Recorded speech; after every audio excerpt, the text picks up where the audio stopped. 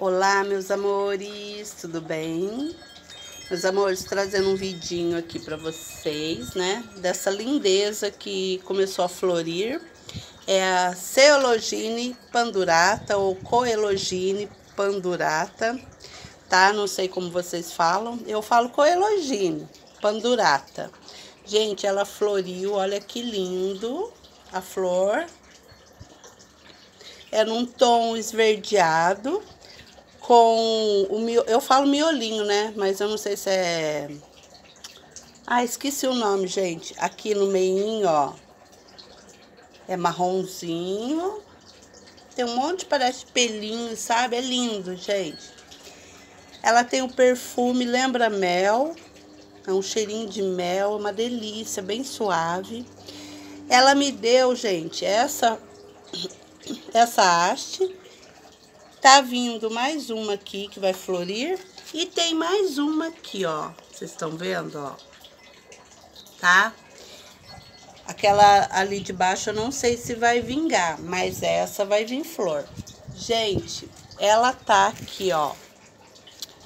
Ela está plantada, né? Colocada, não enterrada na. Um pouquinho de terra com mais é, carvão assim, ó, triturado, é, pedaços assim, ó, de, de vaso de xaxim, que eu dei fim, mas eu coloquei aqui no meio, pedra brita, é, casca de telha, tá tudo aqui embaixo, casca de ovo, o substrato é esse, tá bom? Mas eu coloquei um pouco de terra assim, tá?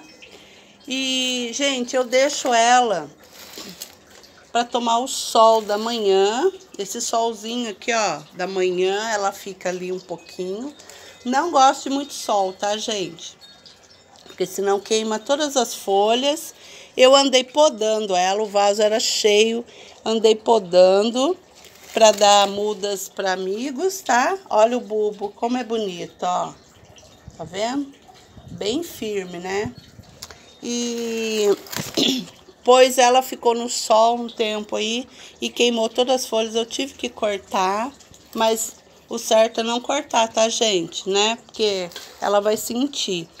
E, para minha felicidade, gente, ela me trouxe duas hastes que vai ficar lindo o meu vaso. Olha só, já tá abrindo essas duas aqui, falta abrir. Acho que hoje já abre. E, gente, é, é de uma delicadeza, ó muito linda, muito linda. Meus amores, fiquem com Deus. Espero que vocês tenham gostado, tá? Deixa um joinha aí pra mim, comenta. E até o próximo vídeo.